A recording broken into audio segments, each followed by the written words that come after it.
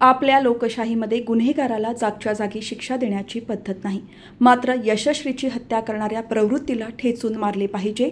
हीच शिक्षा त्यांच्यासाठी असू शकते अशी संतप्त प्रतिक्रिया आमदार प्रशांत ठाकूर यांनी निषेध मोर्चावेळी दिली. तसेच तिला आदरांजली वाहिली. यशस्वी शिंदेची निर्घुण हत्या करून तिच्या मृतदेह विटंबना करण्यात आली होती. याचे पडसाद संपूर्ण महाराष्ट्रभर उमटले असून या घटनेच्या निषेधात पनवेल सकल हिंदू समाज आणि पनवेलकरांनी मोठ्या संख्येने एकत्रित जमत या घटनेचा निषेध व्यक्त केला. तसेच आरोपीला फाशीची शिक्षा झाली पाहिजे अशी मागणी केली. देशासह राज्यात लव जिहादच्या घटना मोठ्या प्रमाणात वाढल्या आहेत. मुलींना टार्गेट करून पळवून नेऊन मुस्लिम करण्याचे षडयंत्र दिवसेंदिवस समोर येत आहे. उरणमध्ये राहणाऱ्या गरीब कुटुंबातील तरुण मुलगी यशश्री शिंदे हिची सध्या देशात सुरू असलेल्या लव जिहादच्या षडयंत्रातून जिहादी दाऊद शेख याने क्रूरतेने तिची हत्या केली. या क्रूर हत्येच्या निषेधार्थ पनवेल सकल हिंदू समाज हिंदू जनजागरण मंच आणि हिंदवी सेनेच्या वतीने सोमवारी निषेध आंदोलन करण्यात आले. यामध्ये पनवेल शहरातील छत्रपती शिवाजी महाराजांच्या अश्वारूढ पुतळ्यापासून निषेध यात्रेला सुरुवात झाली असून तिची सांगता टपाल नाका येथे असलेल्या छत्रपती शिवाजी महाराजांच्या पुतळ्याजवळ झाली. या निषेध यात्रेत सकल हिंदू समाजासह पनवेलकर मोठ्या संख्येने एकवटले होते. या यात्रेत दाऊद शेखला फाशीची शिक्षा झालीच पाहिजे अशी मागणी करून यशश्रीला आदरांजली वाहण्यात आली. यावेळी आमदार प्रशांत ठाकूर यांनी या घटनेचा तीव्र निषेध व्यक्त करत यशश्रीची हत्या करणाऱ्या प्रवृत्तीची माणसं आपल्या समाजामध्ये राहिली तर आपला समाज कधीच प्रगत होऊ शकत नाही. त्यामुळे अशा घटना पुढे घडू नये म्हणून आपण सगळ्यांची जागृत राहिले पाहिजे. आपल्या लोकशाहीमध्ये अशा प्रवृत्तींना जागच्या जागी शिक्षा देण्याची पद्धत नाही. मात्र अशांना जागच्या जागीच ठेचून मारले पाहिजे. हीच शिक्षा त्यांच्यासाठी असू शकते अशी तीव्र प्रतिक्रिया देत लव जिहादसाठी कडक पद्धतीचे कायदे येण्याची आवश्यकता असल्याचे सांगितले. तसेच यशश्री शिंदेला न्याय मिळवून देण्यासाठी फास्ट ट्रॅक कोर्टात हा खटला चालवून आरोपीला कठोर शिक्षा मिळवून देण्यासाठी मुख्यमंत्री आणि उपमुख्यमंत्र्यांची भेट घेऊन सांगितले.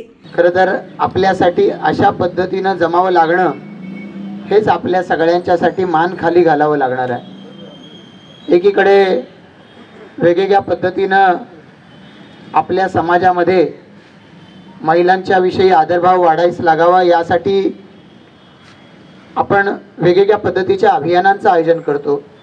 वेगवेगळे उपक्रम आपण आयोजित करतो. आणि त्याच वेळेला समाजामध्ये असा एखादा वर्ग आहे की जो महिलांना केवळ उपभोग्य वस्तू समजतो आणि त्या या ठिकाणी मनोवृत्तीचे म्हणजे आपण नीच मनोवृत्ती म्हणू शकतो अशा नीच मनोवृत्तीने वावरणारी माणसं जर समाजामध्ये राहिली तर आपला समाज कधी पुढे जाऊ शकत नाही प्रगत होऊ शकत नाही. अनेक वेळेला आपण असं वाटत राहतं की माणसाची अनेक जणांची बोलण्याची प्रवृत्ती एक आणि वागण्याची प्रवृत्ती वे प्रत्यक्षात वेगळी असं सातत्यानं जेव्हा जाणवायला लागतं त्यावेळेला प्रत्येकाच्या मनामध्ये कुठं ना कुठंतरी या सगळ्या समाज प्रथेविषयी किंवा समाजाच्या या प्रवृत्तींच्या विषयी मनामध्ये किळसपणाची भावना ही मनामध्ये निर्माण होत असते.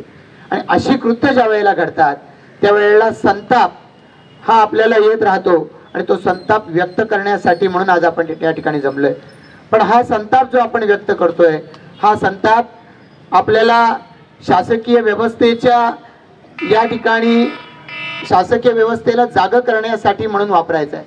की शासकीय व्यवस्थेनं जर तिथं उरणमध्ये आश्वासित केलं असेल की पुढच्या दोन चार दिवसामध्ये आम्ही जो आरोपी आहे त्या आरोपीला शोधून काढू आणि त्याला बेड्या घालू आपल्या व्यवस्थेमध्ये तिथल्या तिथे शासन द्यायची प्रथा दुर्दैवानं आपल्या लोकशाही प्रवृत्तीमध्ये नाही अन्यथा अशा प्रवृत्तींना ठेचून मारलं पाहिजे हीच त्यांच्यासाठी शिक्षा असू शकते. फाशी द्या फाशी द्या! फाशी द्या फाशी द्या! मिळालाच पाहिजे मिळालाच पाहिजे. आपल्या लोकशाही प्रवृत्तीमध्ये तो न्याय मिळण्यासाठी आपण फाशी द्यायची मागणी करतोय. न्यायव्यवस्था त्याच्यासमोर गुन्हेगाराला उभं केलं की ते न्यायव्यवस्था त्यांचं काम करेल. पण अशा प्रवृत्ती वाढू नयेत याच्यासाठी आपल्यापैकी प्रत्येकानं काम करण्याची आवश्यकता आहे. आणि मला असं वाटतं की हे शेवटचं टोक त्या व्यक्तीनं गाठलं त्या नराधमाने गाठलं. पण त्याच्या आधीची पावलं ही समाजामध्ये चालता बोलता आपल्याला दिसत राहतात. ती त्या त्या वेळेला थांबवण्याच्यासाठी आपल्यापैकी प्रत्येकानं कृती करण्याची गरज आहे. आणि मग असं करणारा समाज असू द्या किंवा असं करणाऱ्या व्यक्ती असू द्या या प्रत्येकाला त्या त्या ठिकाणी थांबवण्याची आवश्यकता आहे. आज संपूर्ण देशभरामध्ये लव जिहाद सारखे प्रकरणं वारंवार घडताना आपल्याला पाहायला मिळत आहे आणि असे प्रकार घडत असताना शासनाच्या माध्यमातून जर त्याच्यावरती जर जरब बसत नसेल तर साहजिकच आहे महिला वर्गाच्या मनामध्ये आणि ज्याला ज्याला या प्रवृत्तीची चीड वाटते त्या प्रत्येकाच्या मनामध्ये संताप आल्याशिवाय राहणार नाही. तर या संदर्भात सुद्धा विशेषत्वानं लव जिहादच्या बाबतीमध्ये सुद्धा कडक पद्धतीचे कायदे हे येण्याची आवश्यकता आहे की ज्याच्या माध्यमातून या प्रवृत्तींच्या वरती आळा बसू शकतो. येणाऱ्या कालावधीमध्ये आम्हाला अशी प्रकरणं घडू द्यायची नाहीत असं आपण वारंवार भडतो म्हणत राहतो आणि पुन्हा पुन्हा एखादं प्रकरण समोर येतं राहतं. मला असं वाटतं की आपल्यापैकी प्रत्येकानं जागरूकपणानं आपल्या अवतीभोवती अशा पद्धतीच्या घडणाऱ्या घटना आपल्या अवतीभोवती या घटनांची लागणारी चाहूल ही वेळीच ओळखून या प्रवृत्तीच्या विरोधामध्ये राहिलं पाहिजे.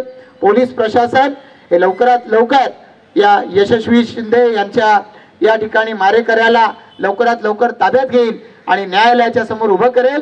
आणि न्यायालयाच्या समोर त्याला उभं केल्यावर न्यायालयाच्या कडे आपल्याला सातत्यानं या ठिकाणी आपलं हे म्हणणं जे आज आपण मांडतोय ते त्याही ठिकाणी सातत्यानं मांडत राहण्यासाठी सुद्धा जागरूकपणानं काम करत राहिलं पाहिजे. मला खात्री आहे की सकल हिंदू समाज आणि हिंदू जनजागरण मं- मंच या बाबतीमध्ये सुद्धा अशाच पद्धतीनं आग्रही राहील. एक लोकप्रतिनिधी या नात्यानं मी सातत्यानं या विषयावरती आपल्यासोबत राहील याची ग्वाही या निमित्तानं देतो. एकत्र कसे येतात हे आपण पाहिलं असेल आता काही दिवसापूर्वी.